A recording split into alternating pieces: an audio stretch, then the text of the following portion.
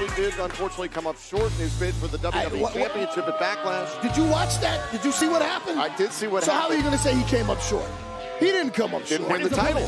From Perth, Western Australia, weighing 220 pounds, Shane Thorne. And Lana's getting divorced for the second time in eight months, so you seem pretty happy about that. I, I don't engage in gossip. Meanwhile, Shane Thorne ready to take on Humberto Carrillo and MVP. We've gotten to see a lot of Shane Thorne. What have you thought about his maturation over the last few weeks? I'm impressed with Shane Thorne's progress. I like that. See, there you go. One more time. One more time. Make him respect you. All right. See, see, he knows who. Yeah, he knows what time it is. A superstar competed in Japan, much like yourself. Shane Thorne has proven that he's got a, uh, a pretty nasty attitude in the ring, a hard-hitting superstar. Hard hitting, and I like his style. Ugly, and he doesn't care about style. He's gritty, as opposed to the pretty boy across the ring, who's all about style. However, I have to give credit to Humberto Carrillo. He does have substance.